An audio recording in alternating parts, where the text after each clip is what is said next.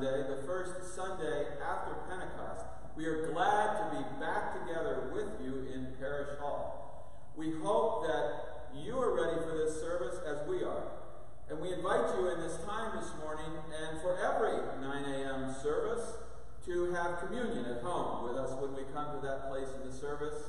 I'm so happy to have my colleagues, Reverend Emily Corzine and Mark Williams and Kevin Jones and Mark Danke here as we record and share this word with you today. We hope that you take time to rest today, to soak in the Spirit today, and to embrace this opportunity to worship together. Later in the service, we'll have a chance to share our offering. So take a look at your bulletin that you can find on the website at www.first-church.org at the worship section. And so follow along,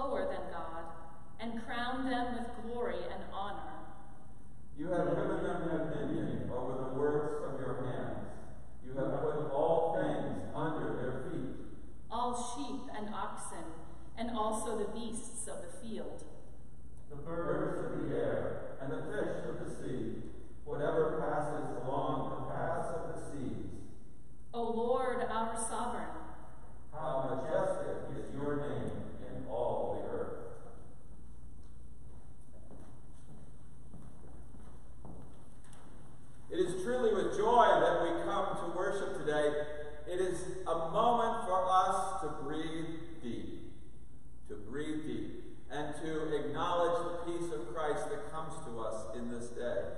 So I invite you to pass the peace of Christ as we pass Christ's peace here. May the peace of our Lord be always with you. and also with you. Peace be with you.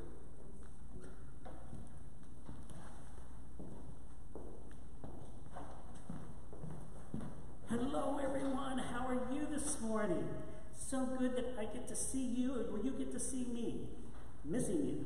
So, today, I would like to share with you something that when I was reading the scriptures for today, I kept thinking in my head there's a word that describes all of these scriptures that are all kind of tied together.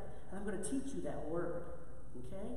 And it starts even with the scripture that Reverend Emily's going to read in just a few minutes back in Genesis, where God was creating everything and God was creating us, and He said, It is good.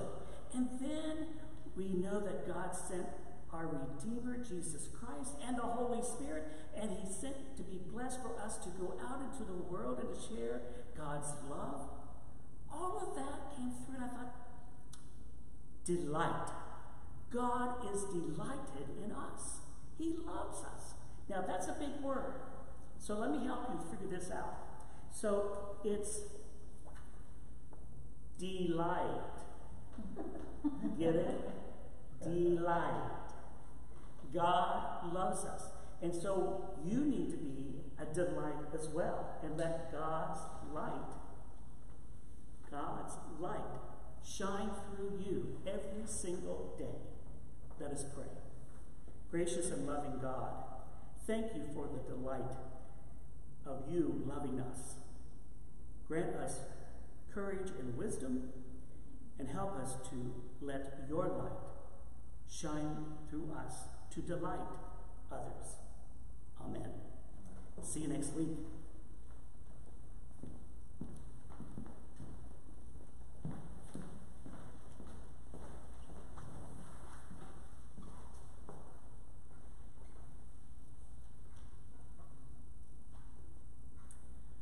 A reading from the book of Genesis, chapter 1.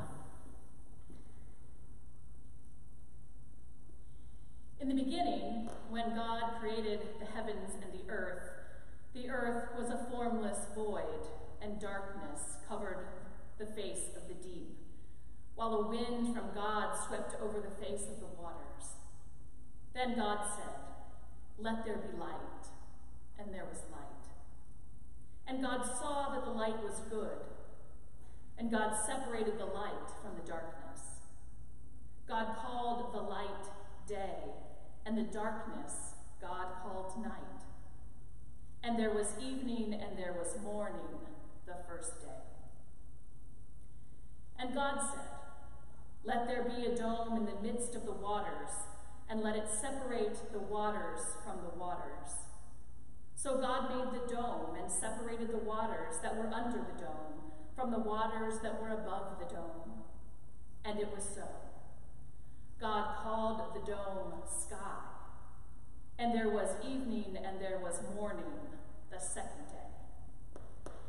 And God said, Let the waters under the sky be gathered together into one place, and let the dry land appear. And it was so. God called the dry land earth, and the waters that were gathered together God called the seas. And God saw that it was good. Then God said, Let the earth put forth vegetation, plants yielding seed, and fruit trees of every kind on earth that bear fruit with the seed in it.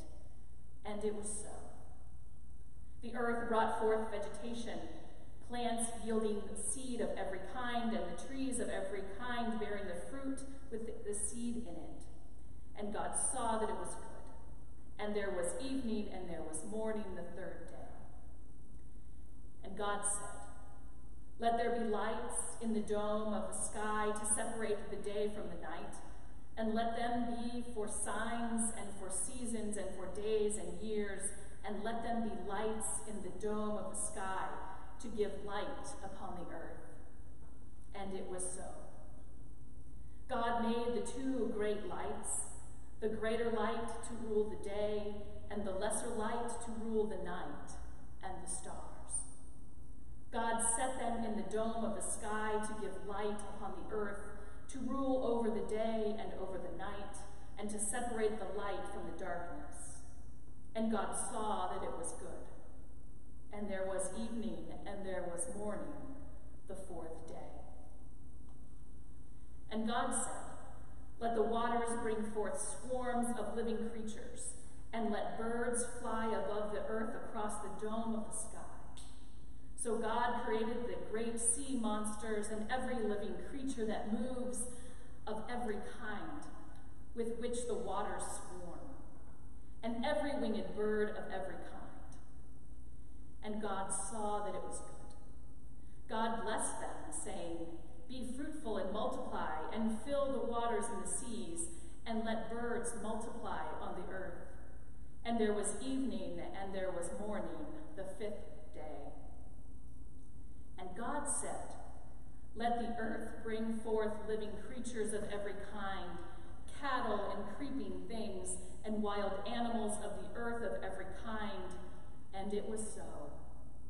God made the wild animals of the earth of every kind, and the cattle of every kind, and everything that creeps upon the ground of every kind.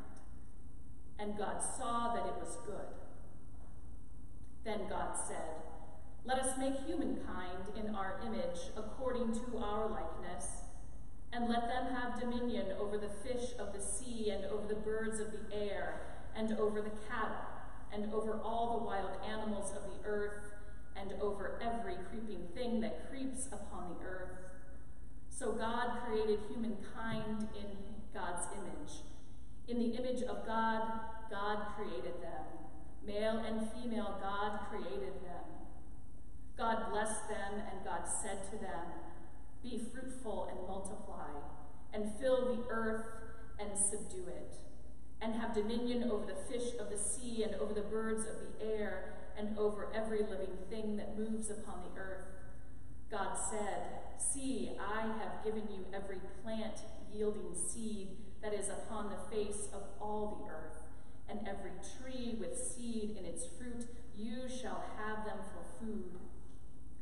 And to every beast of the earth, and to every bird in the air, and to everything that creeps on the earth, everything that has the breath of life, I have given every green plant food. And it was so. God saw everything that God had made, and indeed it was very good. And there was evening and there was morning the sixth day. Thus the heavens and the earth were finished, and all their multitude. And on the seventh day, God finished the work that God had done. And God rested on the seventh day from all the work that God had done. So God blessed the seventh day and hallowed it, because on it God rested from all the work that God had done in creation. These are the generations of the heavens and the earth when they were created. Hear what the Spirit is saying to the church. Thanks, Thanks be to God. Thank you.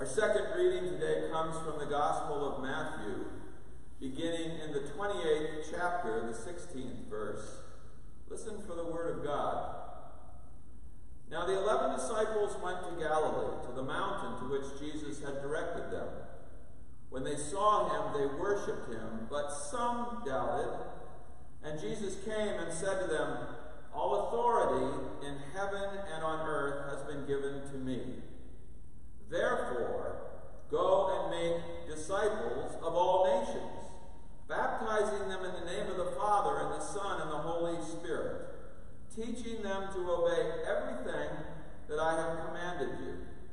And remember, I am with you always to the end of the age. Hear what the Spirit is saying to the church. Thanks be to God.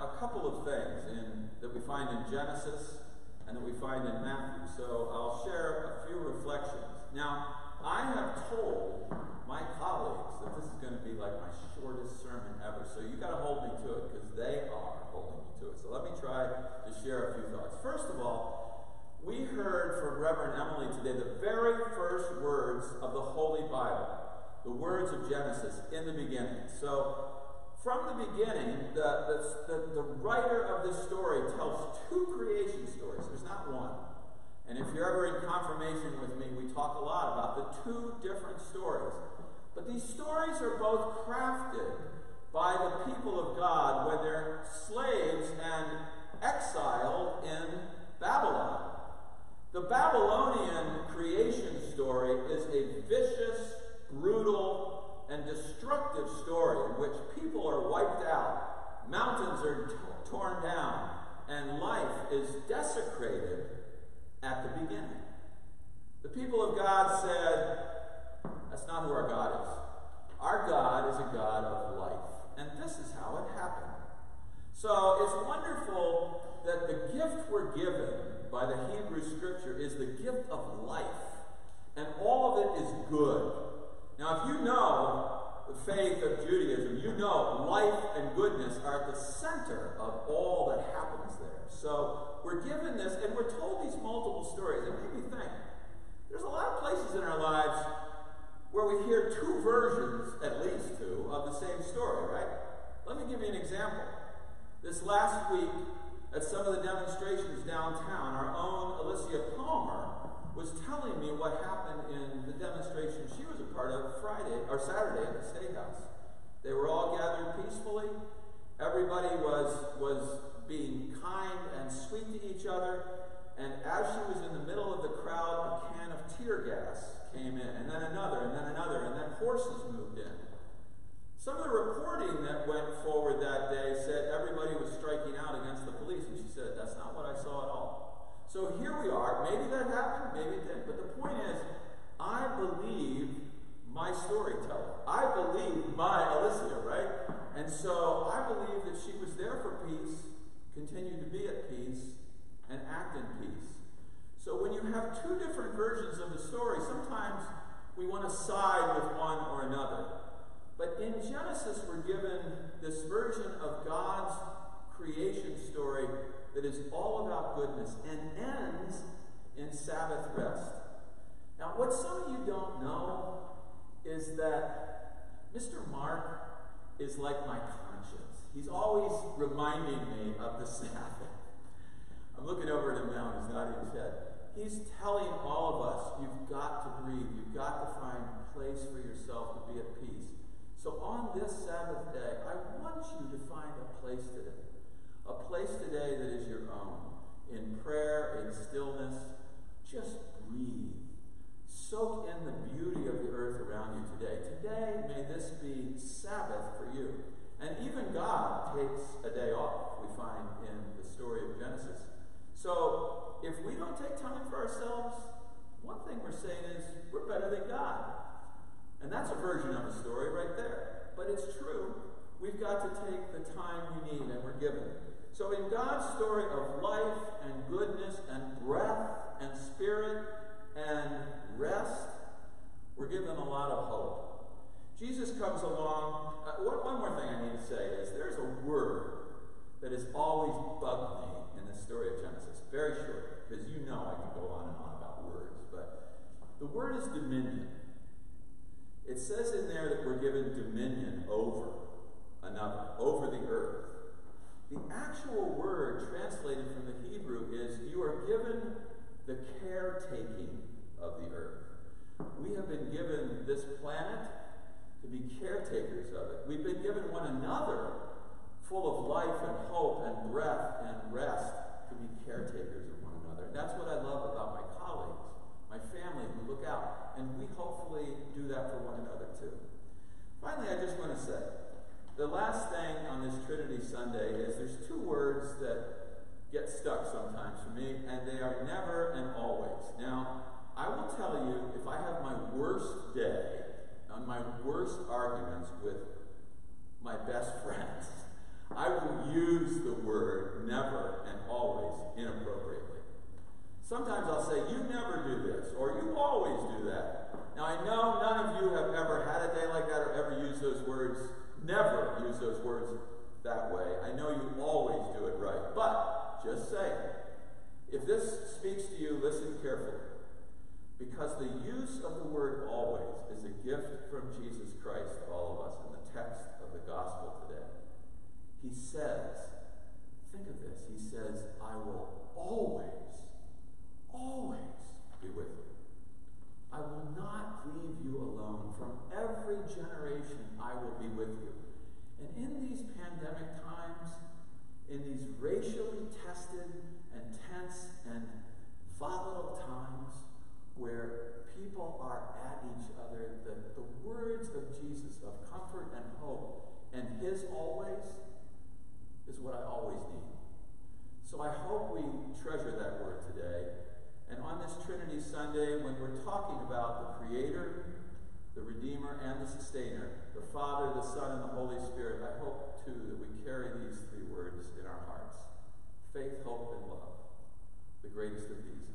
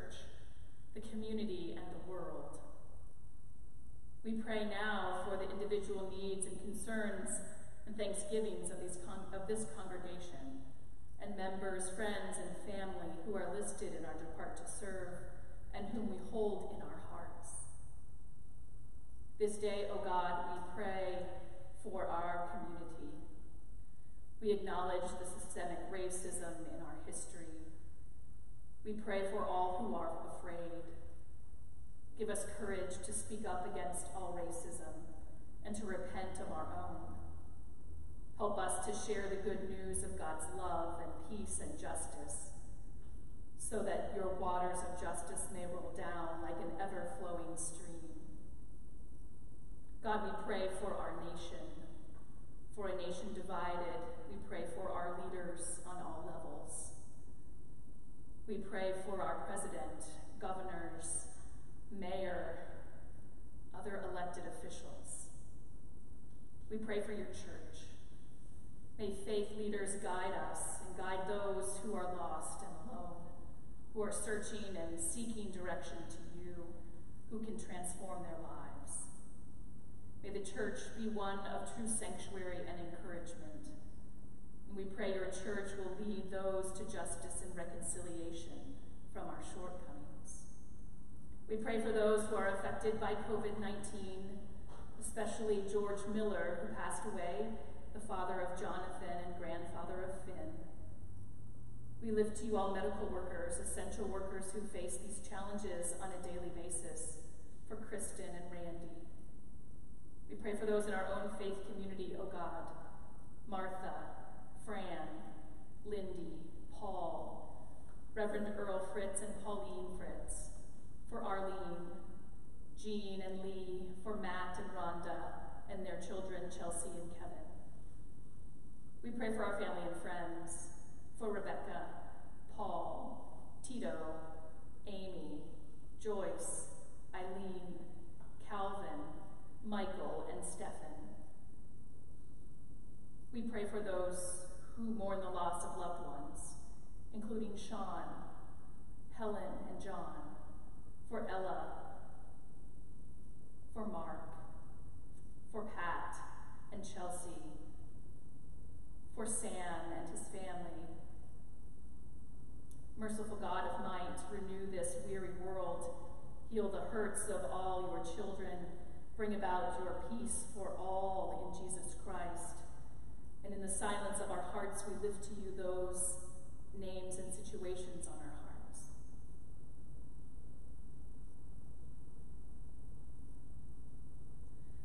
Almighty God, in Christ you have embraced all life through the one who is the way, the truth, and the life.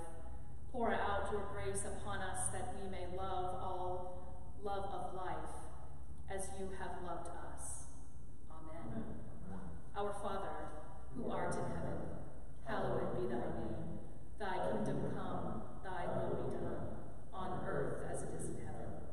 Give us this day our daily bread, and forgive us our debts as we forgive our debtors and lead us not into temptation, but deliver us from evil.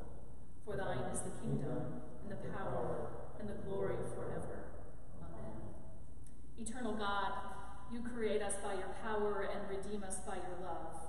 Guide and strengthen us by your Spirit, that we may give ourselves in love and service to one another and to you, through Jesus Christ our Lord. Amen. Amen. The mission offering this morning goes to support the work of the Coalition of Immokalee Workers. It's a worker-based human rights organization internationally known for its achievements in fighting human trafficking and gender-based violence. Each Sunday we take an offering for a mission or ministry supporting issues of justice and mercy. The Coalition of Immokalee Workers has been hit hard by COVID-19 and their inability to socially distance and proper hygiene um, and diminished access to testing They have been hit hard. So our work and our donations this morning go to support their continued efforts to keep their community safe during this time and continue to fight for human rights. Please give generously.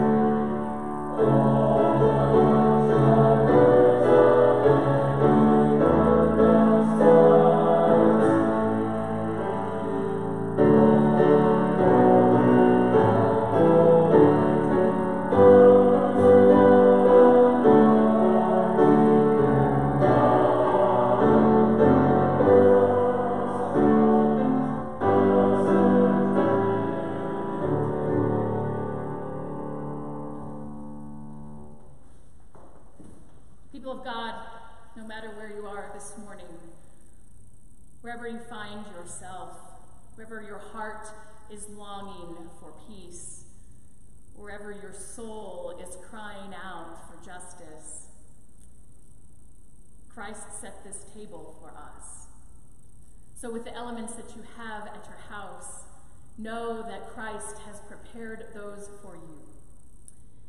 And that we together, even though we are distant, celebrate this sacrament together. Let us pray.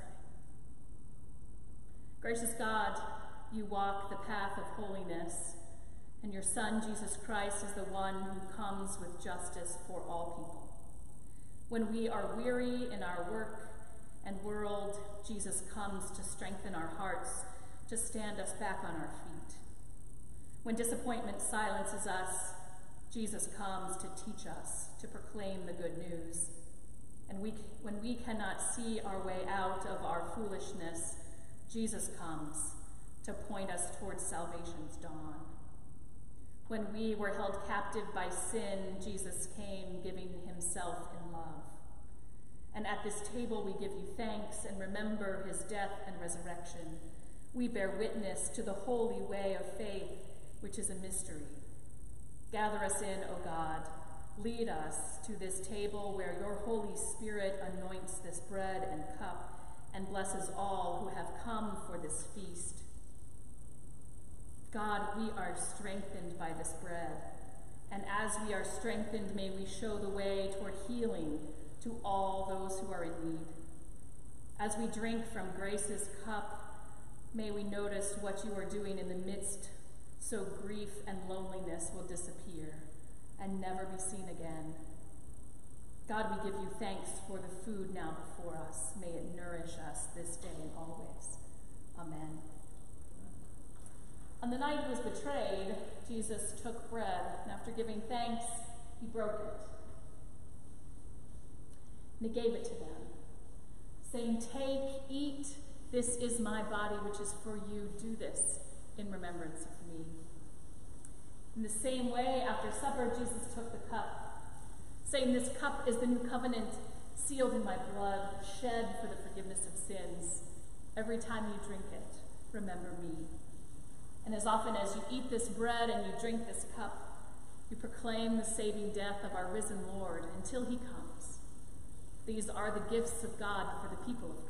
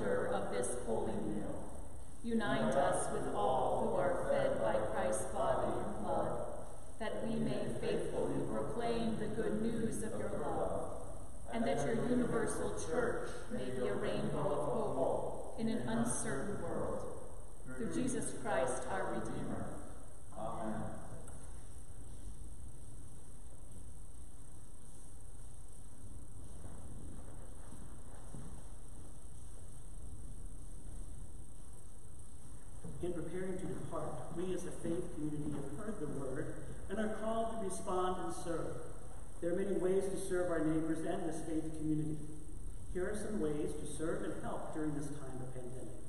Watch your email, church website, and Facebook for updates concerning our faith community and how we will organize to help those in need during this time. A list of canceled events will be posted through email, website, and Facebook. Just a reminder, all worship will be online until further notice. No in-person worship. We encourage families to check out the information about free church camp this summer in the Depart to Serve leaflet. Online registration is now available. Please note all the virtual studies being offered this week. Everyone is invited to participate in the 21-day Radical Equity Challenge. It is sponsored by the Christian Education and Justice and Mercy Commissions. The 21 day Radical Equity Habit Building Challenge is where you do one action to further your understanding of power, privilege, supremacy, oppression, and equity. The plan includes suggestions for readings, podcasts, videos, observations, and ways to form and deepen community connections. The suggested category, categories are read, listen, watch, notice, connect, engage, act, reflect, and stay inspired. We will host a Zoom meeting each Monday for us to discuss what we have learned during this challenge in a safe place. You will find the link in the Depart to Serve leaflet. The youth of First Congregational Church will conduct a drive-by food drive on June 13th from 10 a.m. to 4 p.m. on the West Lot. The food drive will benefit the Gladden Community Food Pantry and the Broad Street Presbyterian Food Pantry. They are collecting non-perishable food items and monetary donations. This is a great opportunity for scouting groups, community organizations, neighborhood organizations, and companies to join forces to help those in need. If you need to be in touch with Reverend Aarons or Reverend Corzine for emergency pastoral care or name a prayer request, please call 614-733-4547. This number is listed in the Department to Serve leaflet. And Reverend Tim has an announcement.